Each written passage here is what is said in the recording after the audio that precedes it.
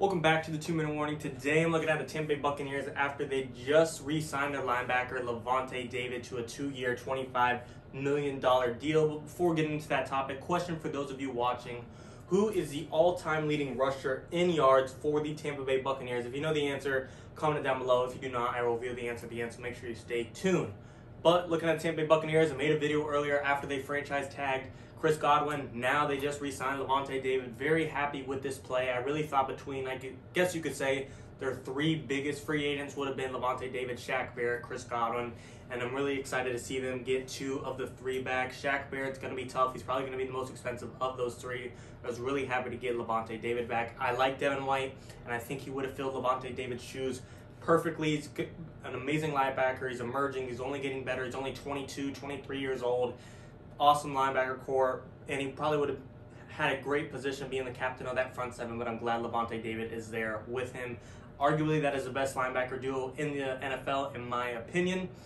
Obviously, things could change. Another offseason, we could see more linebacker signs or trades or what so on and so forth. But I'm very glad Lavonte Davis back with this front seven. So looking at the defense as a whole, that no, these are the guaranteed guys that will be on the Buccaneers defense. Antoine Winfield Jr., top safety, that was a rookie for the Tampa Bay Buccaneers. Like I said, the two linebackers, uh, Devin White and Lavonte David. JPP and Vita Vea are both under contract. So those are five very solid guys on the Tampa Bay Buccaneers that no matter what, even if you lose Ndamukong Suh and Shaq Barrett on the defense, you can address defensive line in the draft if that if that is a certain area you want to work on in the draft. To me, if you re-sign those guys, I think Ndamukong Suh has a very high chance of coming back to the Buccaneers. He wants to play with Brady. He wants more rings. He's had his money early in his career. He's just ring chasing right now, and he knows with Brady that is the best shot he's going to get with it. So I think he'll take a reduced contract. He's not going to go for pennies on the dollar, but I think he'll have a very high incentive-based contract you know, it'll work out. So I think they'll re-sign Ndamukong Suh. Then, like I said, in the NFL draft, if you lose Shaq Barrett, address it in the NFL draft at number 32 overall. Pick up an extra defensive end, or if you're happy with William Gholston coming off the uh, off the bench, I guess. He's a pretty good defensive lineman. I think he'd start in most places, but for the Buccaneers, he's coming off the bench. I'm happy with him. Maybe address an extra corner, an extra safety in the draft at number 32 overall. Work up that defense. Looking at the offense, you got Chris Godwin re-signed couple other free agents, of course, Antonio Brown, Rob Gronkowski, and Leonard Fournette are big ones. I really hope we get AB and Gronk back. I would have rather AB and Gronk over Chris Godwin if it was those two or just Godwin. However, we know Rob Gronkowski won't play for anyone but with Brady, so he might play on a reduced contract. It's highly incentive based. Same thing for AB. I don't know his motive. He might be looking for money now that he has his ring. He might be looking to be a top receiver in the league right now. He'll win with Brady, but if he goes elsewhere, he could become a number one receiver again. So that's really a question for himself. I can't really make that decision for him or, you know, debate which way he's going to go. I don't know the guy. So if he wants to win more rings, I think he'll stay with Brady. He loves Brady. They have a great chemistry. Brady stuck his neck out for him to go with the Buccaneers, and if he wants more rings, he definitely won't be leaving. However, he might be looking for a paycheck. Can't really blame him if he is. He's got his ring.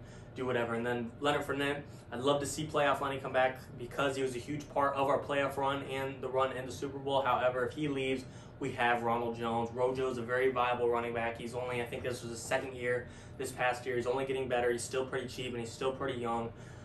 A lot of potential for him still. So looking at the current receiving core of Mike Evans, Chris Godwin, Scotty Miller, and Rob Gronkowski is technically a free agent, but I'm going to consider him on the Buccaneers roster because there's no way he doesn't come back and play with Tom, in my opinion.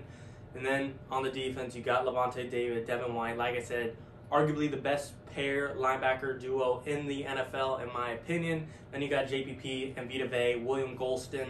Then in the secondary, you got Antoine Winfield Jr. leading that secondary. So a lot of talent on this team. I really think they'll be able to pull off signing Suh. I think they'll pull off signing Brown. I think they'll pull off signing Gronk. I think the biggest question marks will be Leonard Fournette and Shaq Barrett. If I had to pick one of those two to stay, I'm going to go with Shaq Barrett because even though Shaq Barrett he was leading in sacks in 2019 2020 he had a kind of a drop off year but the reason being is because after his um, think it was 19 sacks in 2019 or 18.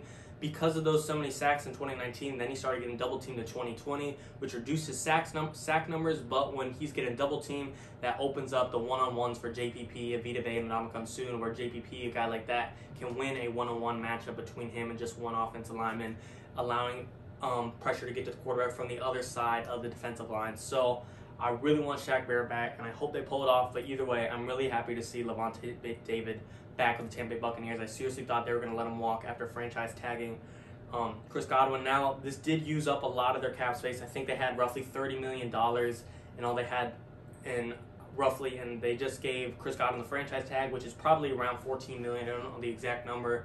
And um, Lavonte Davis making 12, so that's around 26 million dollars. And of your 30, you only have four left. I think Brady's going to reduce his contract. Probably not a whole lot, maybe two and a half million, but it's better than nothing. So now you're at eight and a half million dollars. I think Mike Evans might take a million off. That's nine million dollars. And they could very well, if they sign Gronk, release Cameron Brate or OJ Howard, who are both due for $6 million each. You don't need Gronk, Cameron Brate, and OJ Howard while they're all three special talented guys in the NFL, great red zone targets for Tom Brady. They're just not all needed, and you can use that 6 million elsewhere, such as going towards Shaq Barrett. I hope they either cut or restructure with one of those guys. I'd hate to lose both of them, but I do think it's okay to let go possibly OJ Howard, who hasn't been much for the Buccaneers, and really they might be looking at their left tackle Donovan Smith, who's due for I think $14 million himself this year. So there's going to be a lot of restructuring, and I have confidence in the Tampa Bay Buccaneers and Tom Brady to bring guys in. He's probably the best. He's like LeBron James of the NBA. He builds his own teams, and he knows that he knows who works, he knows who's talented, he know who he knows who he needs on his team. And the Buccaneers don't re-sign a certain guy. Tom Brady will be giving them the okay by that because I'm sure if there was someone who wanted on the team, they would be on the team.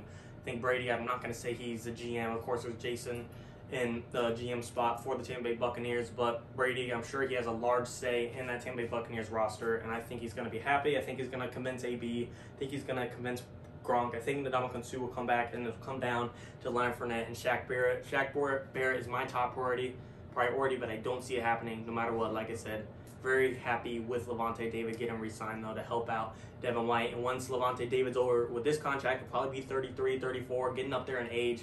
Still good linebacker, but by that time, Devin White will be 24, 25, just entering his prime and ready to finally fill his shoes. Can't wait to see the Buccaneers.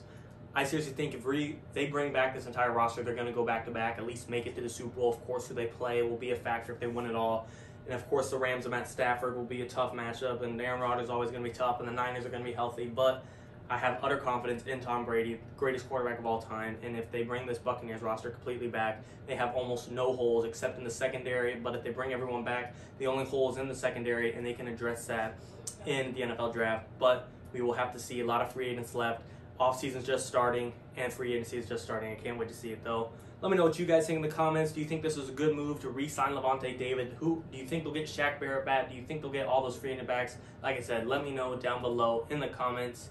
And for the question of the video, for those of you watching, the all-time leading rusher in yards to Tampa Bay Buccaneers is James Wilder, only around 6,000 yards. I think if Rojo has an, his entire career with Tampa Bay, with the Tampa Bay Buccaneers, he will definitely pass him. As he already has like 1,700 yards. So, thanks for watching, guys. Two minute warning.